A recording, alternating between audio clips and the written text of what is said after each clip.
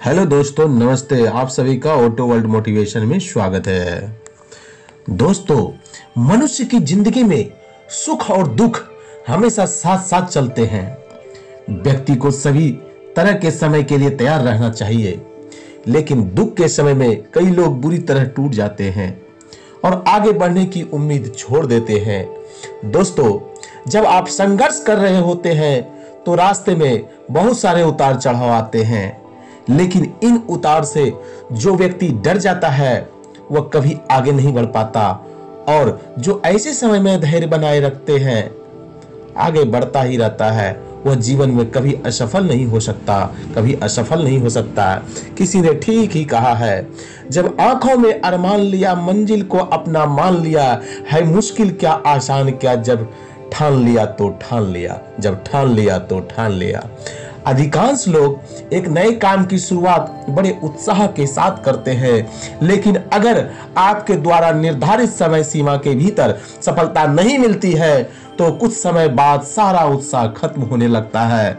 इसका सबसे बड़ा कारण उदासीनता, यानी अपने आप में प्रेरणा की कमी। काम छोटा हो या बड़ा, काम काम होता है।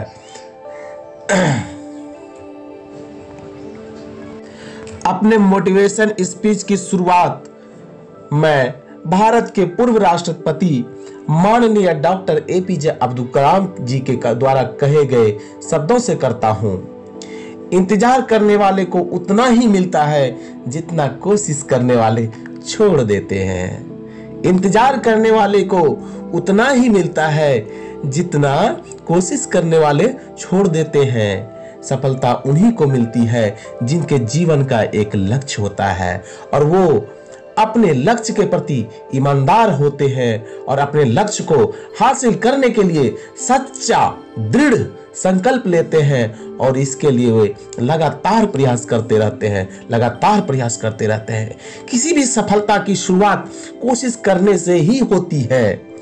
इसी बात पर एक बार चंद्रगुप्त ने चाणक्य से पूछा अगर किस्मत में पहले से लिखी जा चुकी है तो कोशिश करने से क्या मिलेगा?